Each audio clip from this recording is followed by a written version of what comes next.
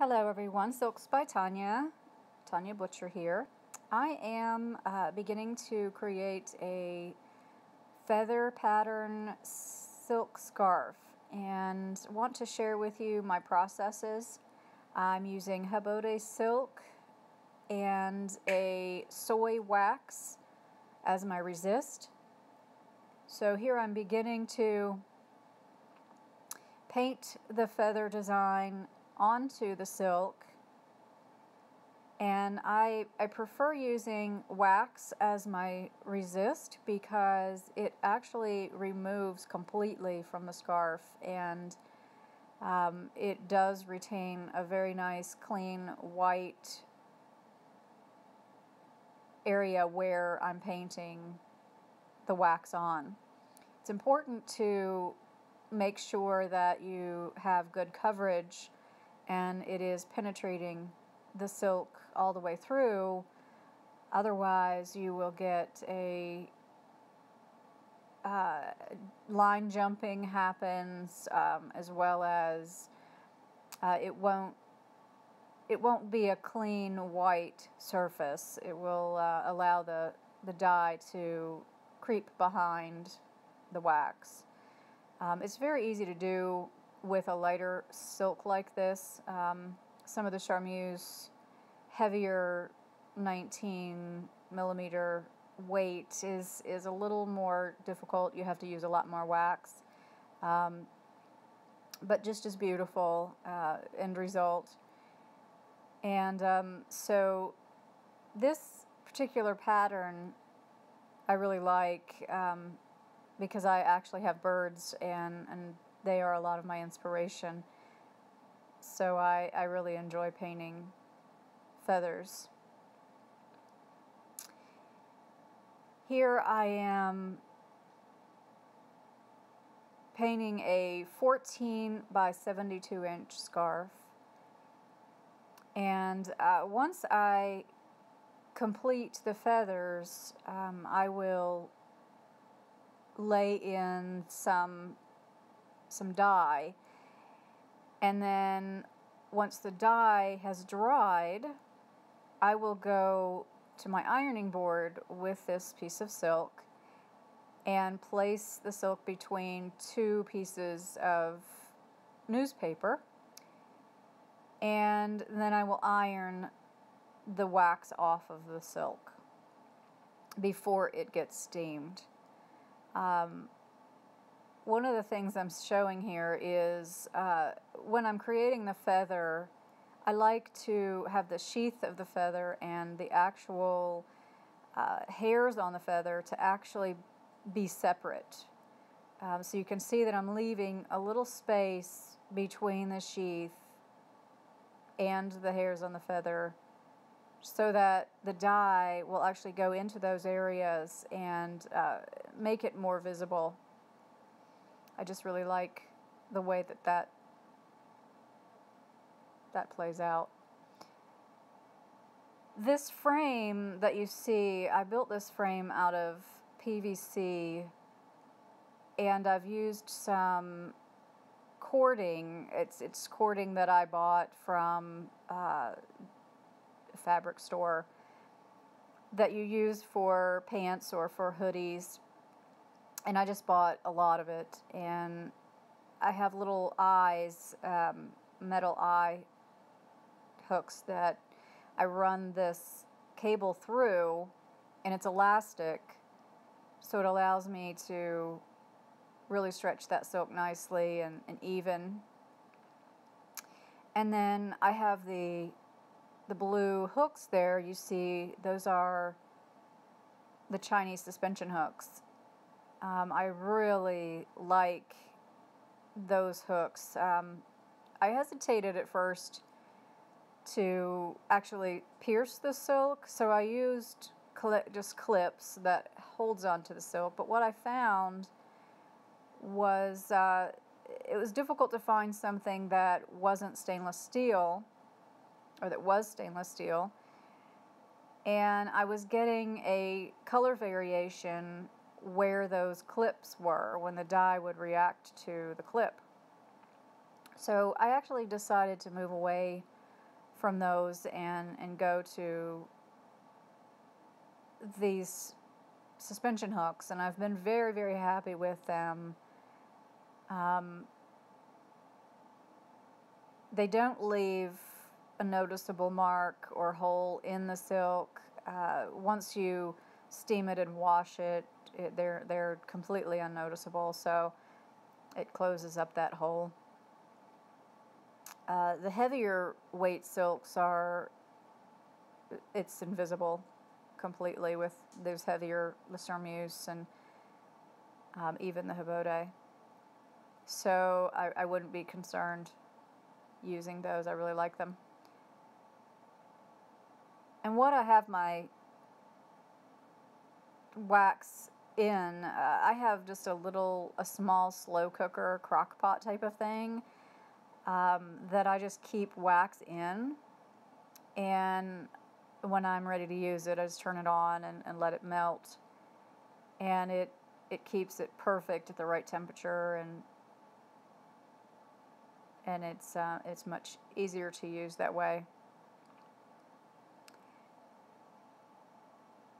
So I'm just continuing here with creating some feathers and this process takes me roughly 15 minutes to create the feather pattern on a silk scarf this size.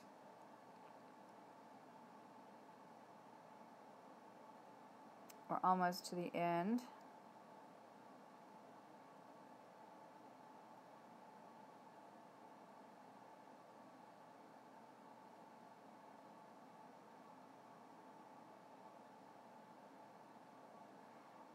Like using a, a very random stroke with the feathers. I, I like I like a feather that is tattered and, and sort of ragged versus a, a very clean, pristine feather.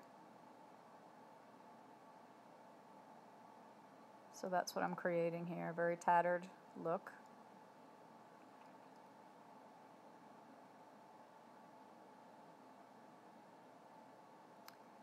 Last feather going on. And then uh, what I'm going to do is sign this piece. I sign all of my work as it is artwork. So I have a batik pen and it it's fantastic for signing pieces. It actually has a reservoir in it that melts wax and it has a pin that drops down. Here it is there. It drops down to keep the wax from coming out and you have to push down on it in order to get it to come out. So I really recommend this batik pen for outlining or writing. It's great.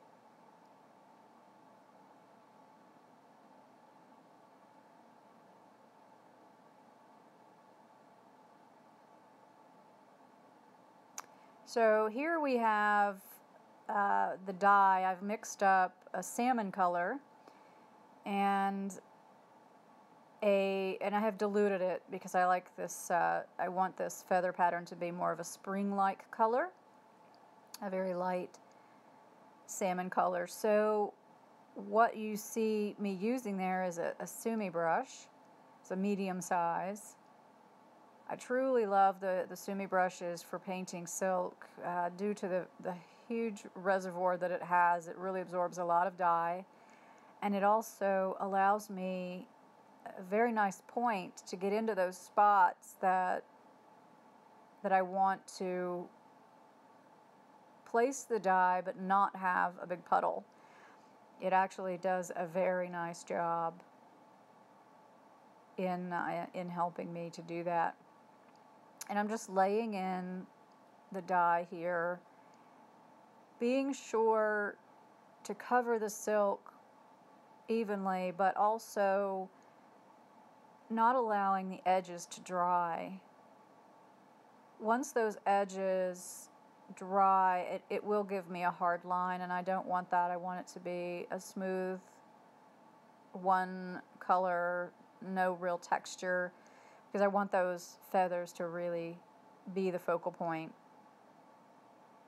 And as you can see, that feather is very pristine and white and clean and very beautiful. So the wax I recommend using the wax and I, I really think it's easy to use with the brush.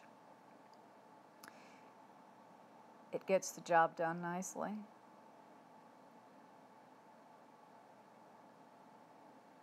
I use jacquard uh, dyes, silk dyes. I really like the color variations in that brand. I also I use the green label as well as the acid dyes. I have um, I found the acid dyes go a lot longer. They actually will last a lot longer. Um, even at full strength, it's a powder that you you mix with water, and uh, and they are beautiful colors. They steam up very nicely, and uh, I really I recommend those. I purchased my silk and my dyes from, from Dharma Trading. They have a huge selection, and uh, their prices are fantastic.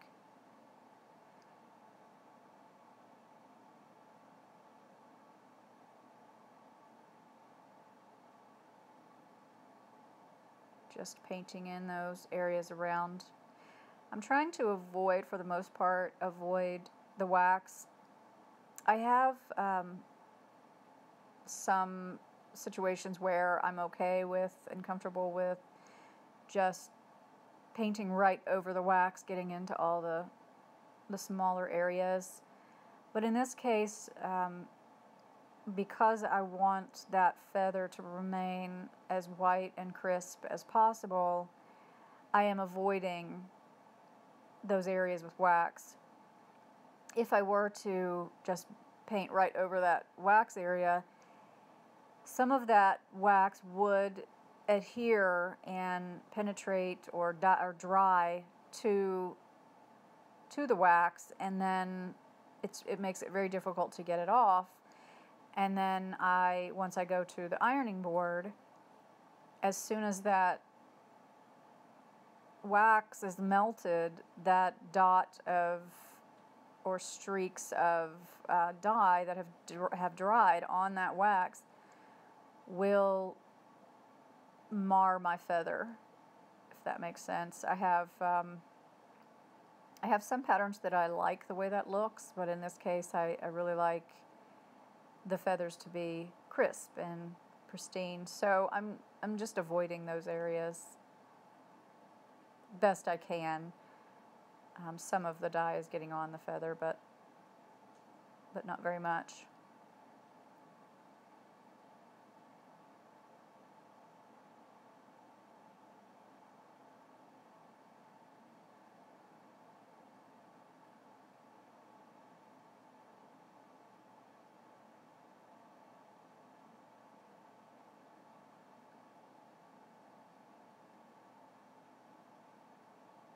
And again, this process also takes about 15 to 20 minutes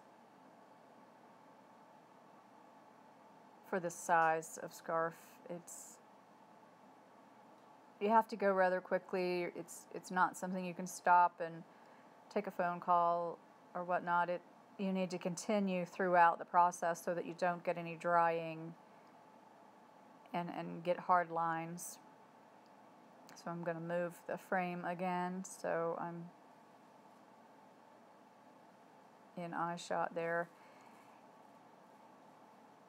Actually, I'm, I think I'm at the end of the scarf. So what happens next, I will allow this scarf to dry uh, several hours, if not overnight, if possible, before it goes to the ironing board and then into the steamer.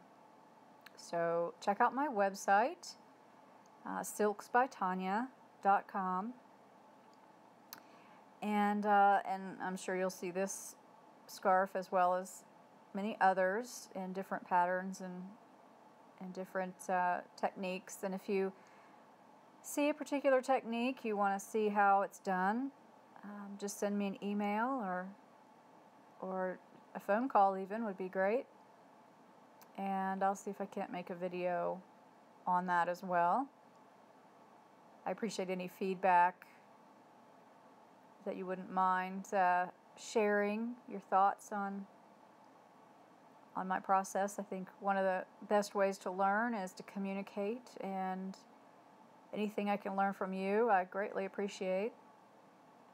If you have a, uh, a technique or a, a suggestion of something I can try, I'm always up for new things. It's fun to experiment.